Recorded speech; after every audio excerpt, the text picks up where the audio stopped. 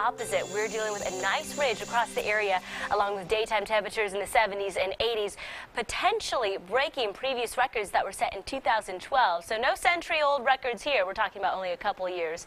I do want to take you outside and show you what those highs will be.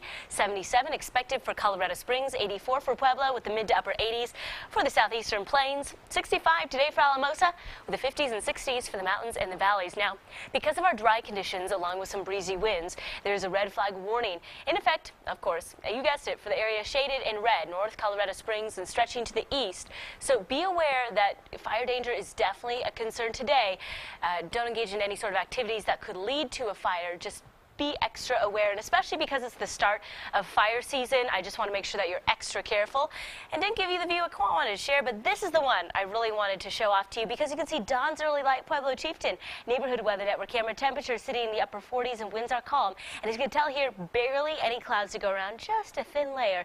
Blue skies anticipated throughout the day. Our Peak Internet Neighborhood Weather Network camera showing the city lights of Woodland Park from Gold Hill and temperatures sit in the 30s and in the 40s. To the north and to the east, we're even in the lower 50s, Monument, Northgate, and as for Manitou Springs, you're in the mid 40s. Off to a comfy start. Temperatures sitting in the upper 40s for Westcliffe, lower 40s, upper 40s for Pueblo West. To the south and to the west, Walsenburg and Trinidad, we are tracking calm conditions. Right now, live HE Doppler radar couldn't be more silent, and wind gusts could be up to 15 miles an hour today, so keep that in mind. Your skycast is just entirely boring. But we start to see a bit of a difference on the way. If my uh, graphical play. Here we go. We're talking about the 50s uh, Thursday, Tuesday, I should say, all the way through Friday. Now, Tuesday morning, only a few sprinkles here or there. It'll be very isolated Wednesday afternoon through Friday morning.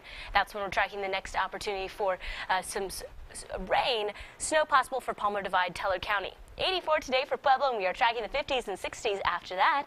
For Cañon City, 79 today, tracking the 50s. What we're dropping to tomorrow with an incoming cold front with partly to mostly sunny skies. Just in time for the weekend. Hey, my storm tracker powers at it again. 64 today for Teller County with the upper 40s tomorrow for uh, them as well, and the slight chance for a few sprinkles. And I will have just a specific weekend planner coming up. Feeling a lot more March-like, it looks. Yeah. It is. It's lovely. Thanks, Abby. Yep.